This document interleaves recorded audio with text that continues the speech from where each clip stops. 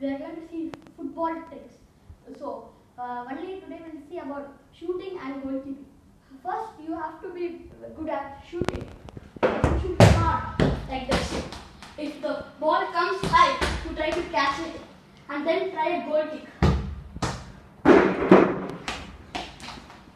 So, uh, if you want to be a good goalkeeper, first you have to uh, catch the ball like this.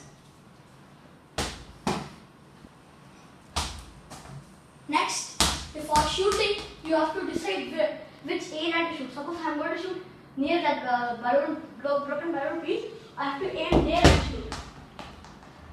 And uh, we have to also speak about the height. If you want to shoot very high, you have to uh, use this place.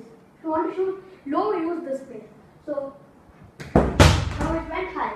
Now if I shoot like this, it will let it go low. Uh, then you have to try uh, shooting slow also. So if the goalkeeper can't get the ball, then catch it. Uh, then you have to be good at header. Suppose uh, any person can throw like this, you have to do like that.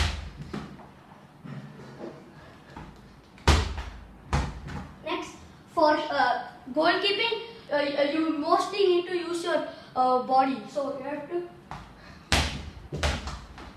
But uh, the shoo- shooter can't use hand, so he, they can also use like this.